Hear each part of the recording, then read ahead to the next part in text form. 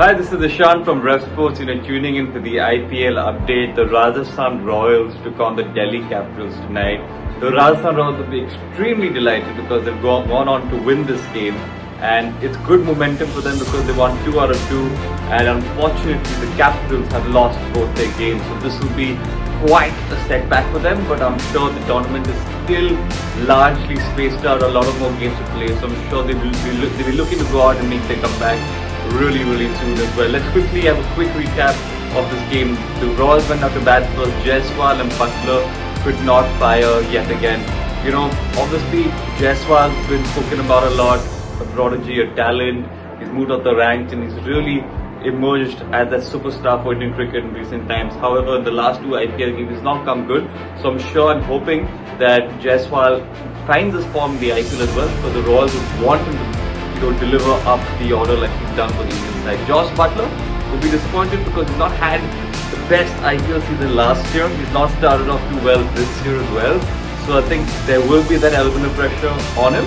But he just needs one good innings and I think everything changes. So a lot of banking on Jos Buttler as well. But the star performer from the batting lineup of the Royals was definitely, and no doubt here, Riyan Parag. So much is spoken about Parag that He's been inconsistent in the past, not really performed. But tonight, I think he's really shown everybody what he's made of. You know, there was a lot of backing by the Royals for Riyan Parag, and I think today is proven why. Zubin Bharucha as well, the mentor to Parag, Jaiswal, Jurel. He's worked with Parag as well in the off-season at the Royals Academy in Nagpur, and he's someone who's really helped in grooming him to become a better batter, be more focused, and you know have the right approach when you're taking on and playing at the biggest league. And Parag seems to be implementing all of that.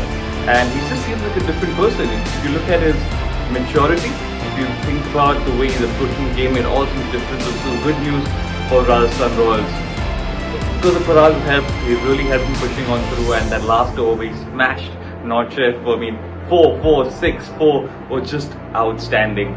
When the Capitals went out to bat, there was pressure. They got they got started off to a fairly decent start, but then Nandre Burger, woof, wasn't he really good? Really heated things up, got those two wickets, and the pressure was right on the Capitals. After that, Rishabh Pant came in. There was a partnership that was built, but again they lost a few wickets, and after a point in time, the chase seems to be going out of their hands.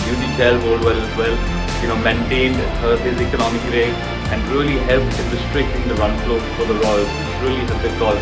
Overall, the Royals helped and I think what they did right away was help in restricting the run flow.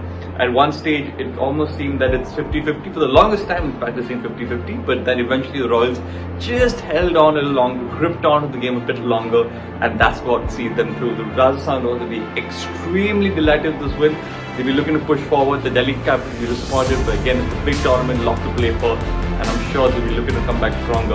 Rishabh Pant could not only fire today as well, he got run somewhere in the mid 20s. you would like to go on and push further, but let's give him time, guys. Let's give him time. He's going to come up really good, and when he does, it's only going to help the Delhi Capitals. Overall, a fantastic game of cricket. You guys are only getting heated up. Stay tuned to Rev Sports, stay tuned to the IPL. I'm going to make sure you all the IPL details right after match.